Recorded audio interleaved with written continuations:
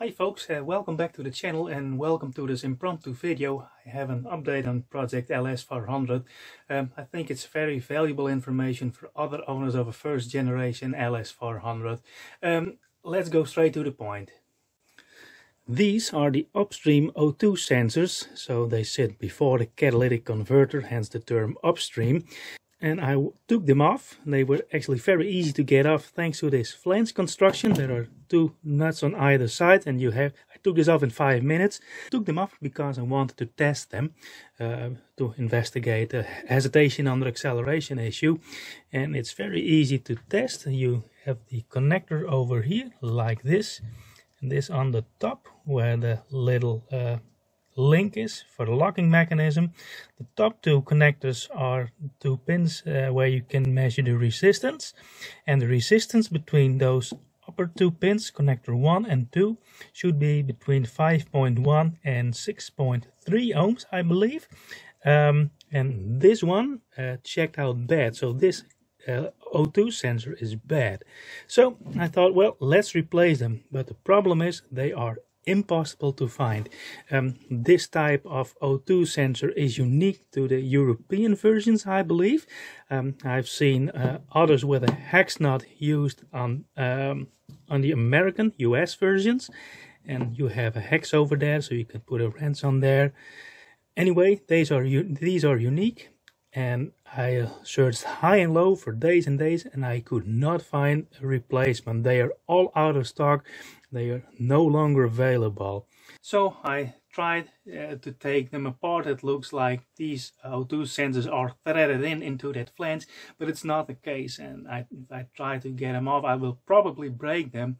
So yeah, um, I'm stuck between a rock and a hard place, but I found a solution. And let me show you. I found a supplier in Poland that has the direct replacement in stock.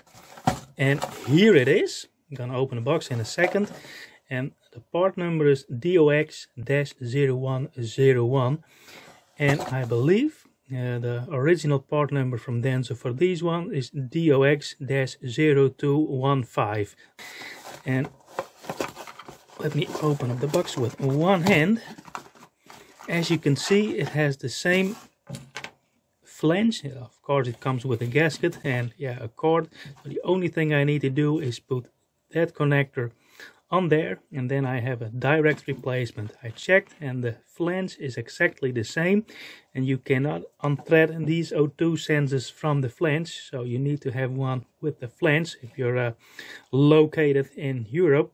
So anyway that's the information I wanted to share. I can imagine that other uh, LS400 owners run into the same problem but now I found a direct replacement and it's also from an OEM supplier.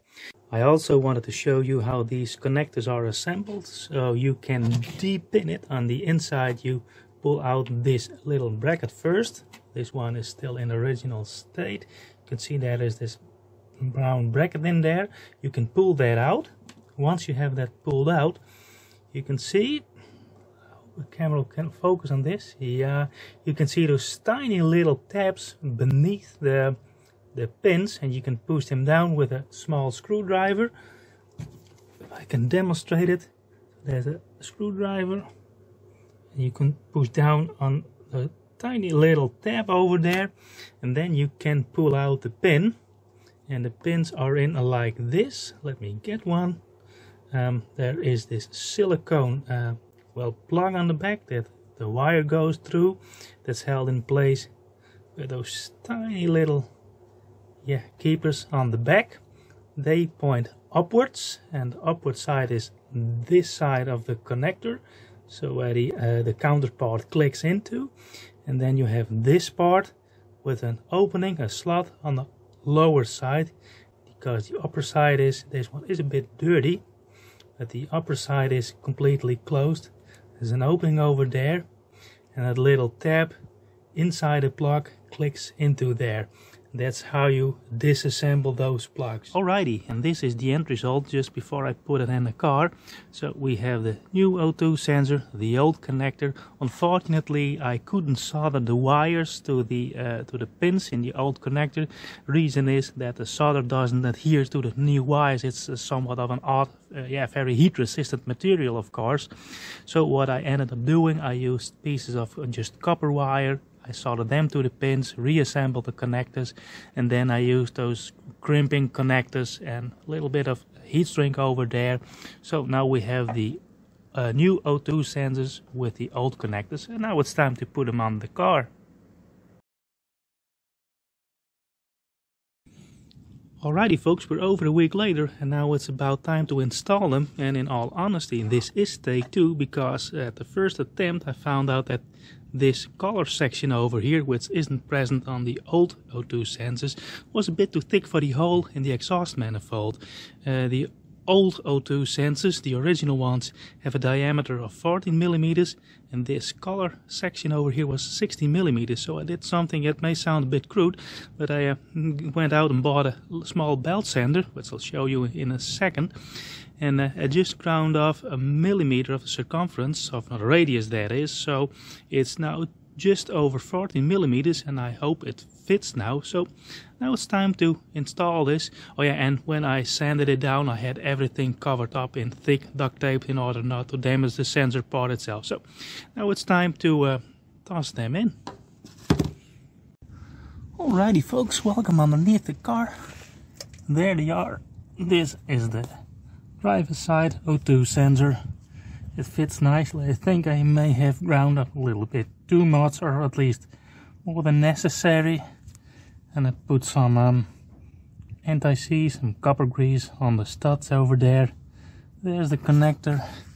This one is a bit difficult to install because you got the steering rack in the way. Let's move over to the passenger side.